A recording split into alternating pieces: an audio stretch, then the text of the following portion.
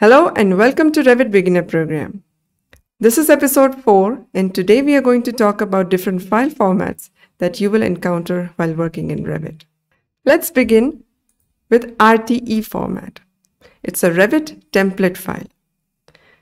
When you want to create a new project in Revit, the software will prompt you to select a template file. There are a few default template files available in this list, but you can browse for more these template files have the extension .rte. It's R for Revit, TE for template. Let's select one of the default metric.rte template and create a new project based on that. Template files already come with settings and preloaded library, which gives you a good head start in starting a new project. For example, this template file already contains two levels, four elevations, one door, three windows, and some basic wall types.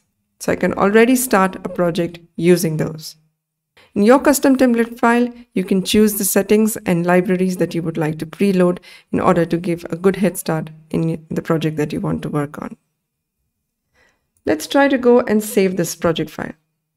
When you save this project file, the file format it is going to save it into is .rvt. So RTE format is your Revit template file using which you create a project which is saved as RVT file. Let's talk about families. When I in go into insert tab and try to load families into my project from my library, let's say furniture, this, this family file is saved as RFA format. So this is R for Revit, FA for family. When I want to create my own new furniture, for example, I will have to create my new family file. Let's try to go into File, New, Family. If you notice the file format here, it is not RFA, it is RFT. This is Revit Family Template. So in order to create a new family file, we'll use one of the templates available to us in the library. So if I want to create a new door, I will go into metricdoor.rft template here and open it. Template files give you a good head start. For example, in this template, I already have a wall, an opening in the wall, some parameters already loaded. Category of the family is already set to doors so when I load it into my project, it will be loaded as a door. When I try to save this file, it will be saved as RFA. This is the file that we can now load into our project.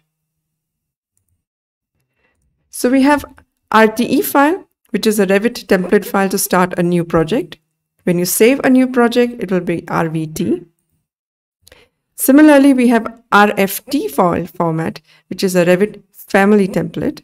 Using this, we will create a new family file, which is RFA. And this is the file that we're going to load it into our project and use that family in the project file.